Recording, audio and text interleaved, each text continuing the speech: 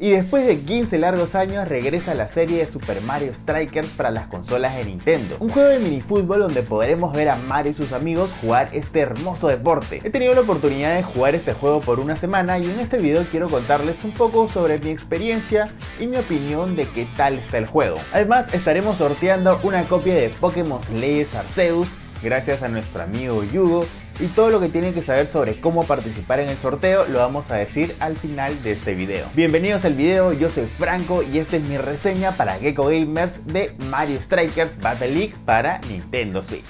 Mario Strikers Battle League es un juego de fútbol pero al estilo de Mario, es decir, no es como un FIFA o PES que quieren darte una experiencia más realista, sino es un juego más party. Pero eso no quiere decir que no tenga mecánicas profundas y lo más importante es que es súper divertido. Creo que el juego es muy bueno para jugarlos con amigos tanto en la misma consola como en el multiplayer online pues te dará muchísimas horas de diversión y puede llegar a ser bastante competitivo casi como los juegos más populares de la industria de los videojuegos de este deporte. Como les estaba contando, el gameplay de Mario Striker Battle League es una mezcla bastante interesante entre diversión y mecánicas profundas que le dan bastante competitividad al título. Básicamente tenemos partidos de minifútbol de 5 vs 5, donde los arqueros serán personajes fijos, pero el resto del equipo lo podrás elegir entre 10 de los personajes más conocidos de la franquicia de Super Mario Bros. Son partidos rápidos de un solo tiempo con una duración estándar de 4 minutos en una cancha pequeña, lo cual hace que tengas que mover constantemente el balón esperando el error del rival para meter el gol. Si el partido termina en empate, siempre se define por gol de oro.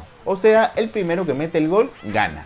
Como buen juego de Mario, por supuesto tiene variaciones al deporte real. Creo que la más importante es que puedes taclear a tus oponentes con o sin balón. Por supuesto no te cobrarán ningún foul. Esta mecánica es muy importante de dominar porque no solo sirve para quitar el balón al oponente, sino también para inhabilitar a los rivales a tu alrededor antes de recibir la pelota y tener la cancha libre. Otro aspecto importante es el uso de ítems. Tenemos diferentes que podemos utilizar como los caparazones verdes y rojos, bananas, hongos que te dan más velocidad, estrella invencible, entre otros. Estos se irán lanzando a la cancha donde cada equipo podrá almacenar hasta dos de ellos y usarlos en el momento que mejor crea conveniente. ¿Y esto podría llegar a romper el juego? Yo diría que no. Creo que están bien administrados, no te lanzan tantos por partido, pero sí puede llegar a ser un poco caótico por momentos, pero creo que es lo que el juego termina buscando, sobre todo en las situaciones más emocionantes del partido. Y no podía quedar fuera el tiro especial, que es una especie de special. En algunos momentos del partido arrojarán a la cancha una bola brillante con la cual el equipo que lo agarre primero podrá hacer este movimiento. Esto después de dejar presionado con el botón de disparo al arco y pasar por una mecánica de timing donde debes apretar el botón en un momento justo.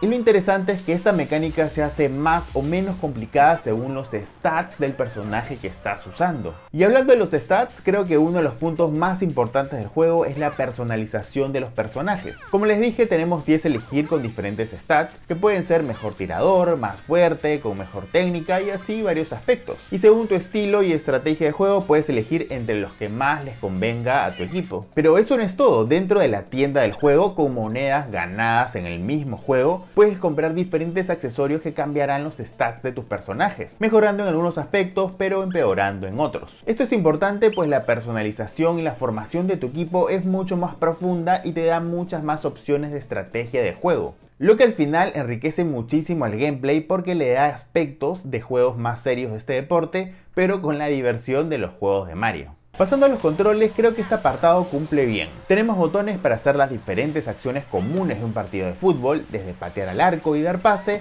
hasta taclear al oponente para quitarle el balón. También tenemos acciones más complejas que podamos realizar, como dejar presionado el botón para patear al arco para hacer un mejor tiro, o dar pases adelantados con una combinación de botones. He escuchado comentarios de que los controles de este juego son muy complejos, pero no creo que sean así. Si vienes de jugar FIFA o PES o los anteriores Mario Striker, creo que se te van a hacer bastante sencillos y fácilmente te vas a acomodar a estos. Y si no es así, tampoco va a ser tan complicado. El tutorial ayuda mucho y el modo de un solo jugador tiene una progresión de dificultad que ayuda a entrenarte en los controles y mejorar en los mismos. En resumen, los controles ayudan bastante al dinamismo que busca el juego. Con estos podemos llegar a tener partidas muy cerradas y competitivas. Creo que son coherentes con el sentimiento de extremismo que te presenta el título. Estos son bastante intuitivos y cómodos para el jugador en donde no te piden acciones imposibles para desempeñarte muy bien en las partidas.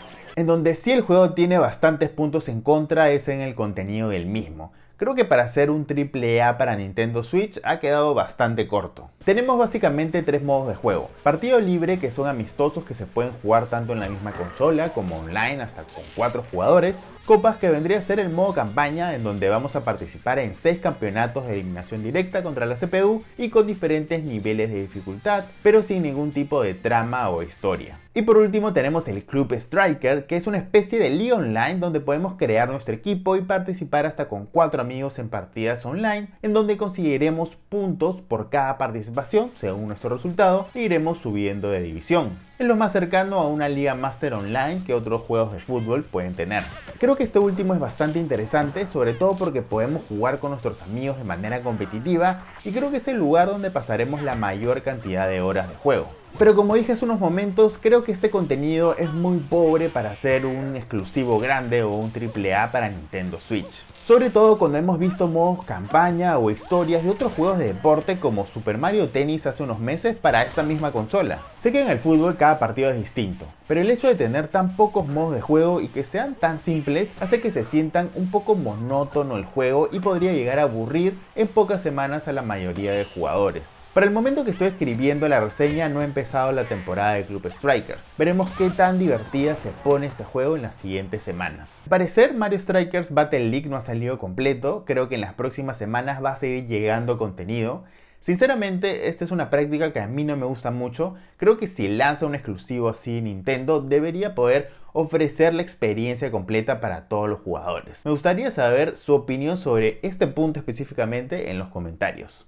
En conclusión, el juego me gustó bastante. Creo que es una experiencia bastante divertida y está sobre el promedio comparado con los otros juegos de deporte de nuestro plomero favorito. Pero en mi opinión no es tan buen juego como el Mario Tennis que vimos en el Nintendo Switch. Sin embargo, el gameplay tiene mecánicas interesantes que satisfacen al jugador que buscan una jugabilidad que sea una mixtura entre juego de fútbol y juego party. Los controles son bastante intuitivos y con una buena curva de aprendizaje, pero a la vez lo suficientemente complejos para poder llegar a tener partidas bastante competitivas.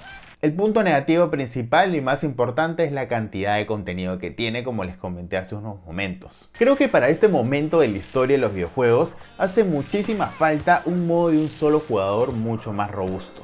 Sin embargo, lo recomiendo muchísimo para los usuarios de Nintendo Switch que quieren pasar un momento divertido con sus amigos o familiares. Y también se los recomiendo a los que son fans de los juegos de fútbol y quieren un título con un aire fresco de este deporte. Y ahora quiero contarles cómo pueden participar en el sorteo de este Pokémon Leyes Arceus. Primero quiero agradecer a nuestro gran amigo Yugo que donó este título para sortearlo entre todos nuestros suscriptores. Para poder participar tienen que estar suscritos a este canal, a Gecko Gamers por supuesto, también suscribirse al canal de Yugo que el link lo dejo en la descripción y por supuesto como último punto darle like a este video y en los comentarios contarnos cuáles son sus expectativas sobre Mario Strikers Battle League o si lo han jugado, cuál es su opinión al respecto. Vamos a estar haciendo el sorteo en las próximas semanas en un directo para que esté todo súper claro. Estén atentos tanto al canal como a nuestras redes sociales, sobre todo Instagram.